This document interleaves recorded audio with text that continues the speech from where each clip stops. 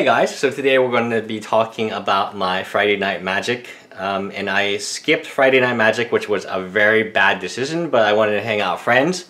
Uh, it was a bad decision for this project because obviously Serum Vision's foil is quite valuable and very easy to trade away, especially the first night. Um, so if you do have one of those, trade them away while they're hot because they're not going to be that much hot later. Um, but anyway, I wanted to go over the current deck and how I did. So I put $15 in the deck for Friday Night Magic and I went to three different game days. I went to the game day on Saturday and one on Saturday night at around 5 to 6 but ended at like midnight. And all of these game days, there were less than 8 people. And I went to one on Sunday. There were less than 8 people. You could get the promo and just leave and that's what I did for two of them. So you pay five bucks, you get five bucks in store credit, which I used to buy cards for this deck. And then you get the foil languish promo, and then there was that other promo. I still have the other promo, but I immediately traded the foil languish promos away. Had I went to four, had I been able to go to four, I might have kept them as a playset, but you know, for this project, that's not really viable. So uh, this is what I essentially traded $15 in store credit and free languish promos uh, and then some other trade stuff I had. And this is my current trade binder. Grandmaster, uh, Battlefield Forge. I'm going to go Boros. I'm, I'm, getting kind of bored playing mono red, so I'm going to go Boros. I need two more of these. Uh, they're very cheap right now, which is good. Uh, Waste, I just got that as a throw in. Um, commands, and then a few other cards. Anafenza, I feel like it's very, very good with uh, Dash. So I'm kind of trying to make a Rogue Dash Boros deck. But the deck I'm going to show you right now is extremely optimized. It is very, in my opinion, pretty good. And we have sleeves. So 20 lands, uh, 20 mountains, no fetch lands because we can't afford those, but whatever.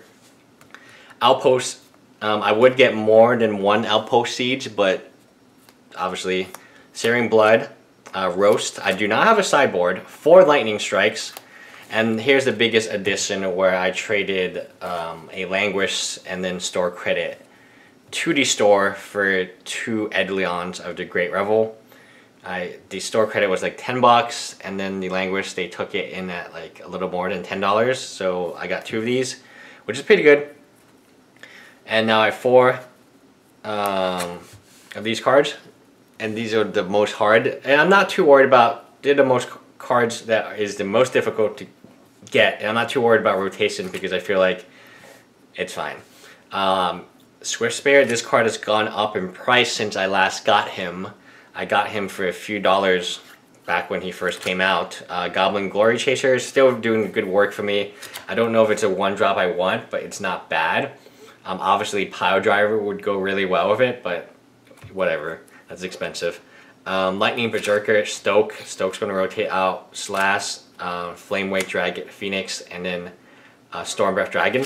Honestly, if Stormbreath rotates out, I would probably just replace him with Flamewake Phoenix. Um, Flamewake is very, very good. Um, it's not the best Phoenix I've ever seen, uh, that being Chandra's Phoenix, but it's pretty good. Um, yeah, and this is a deck. Deck is doesn't have a sideboard. Um, I don't want to add. Sarkhan is actually extremely bad in this deck. And yeah, it's, uh, I mean, it is a $30 deck. I don't know why people in the comments get confused about it. I paid $30 in cash for this deck.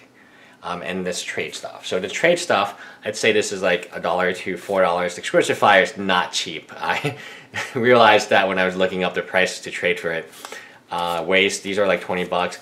You can go infinite on, or you can get very close to going infinite in physical magic if you have the right promos. Now that being said, should Path to Exile and Serum Visions and then Foil Languish not be the promos that I was playing for and that my stores essentially doesn't have even enough people to, um, I mean, all three game days I went to had less than eight people. So it's pretty much guaranteed that you, one game day I won $10 in store credit, which is like double and that was like helpful. And then the other game day I just broke even at five dollars, and then the one game day I won stuff, but I uh, wasted on the pack. so yeah. Anyway, um, the deck project is thirty dollars in. The deck is looking very good. I am going to make it Boros, and I'm trying to do it because the deck does rotate. I mean, Stormbreaths are gone. Um, Stokes are gone. So you're looking at a large part of this deck being pretty much demolished after rotation. So although it's going to win you a lot of games right now, Eidolon's gone, uh, Blaze is gone, and Strike is gone. So we're looking at a huge change coming up, and I'm looking at half the deck essentially rotating out.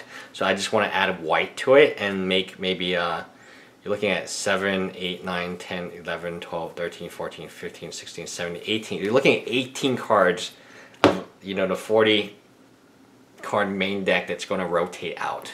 And yeah, you can replace it and you can still keep playing mono red, but in my opinion, you can only play so much red deck wins before you get tired of it. Um, so I'm hoping to trade into a Boros build, uh, pretty much with Anafenza, and then Soulfire Grand Master use those two and maybe some other cards. The Dash component, um, obviously we're going to have to pick up the really annoying uh, Zurgo. Um, he's kind of pricey right now, but we probably need a playset of him. So yeah, that's my idea for the deck, and it is $30 in my opinion, because that's how much I spent for it, including the sleeves. So I got the sleeves on store credit. Bye guys.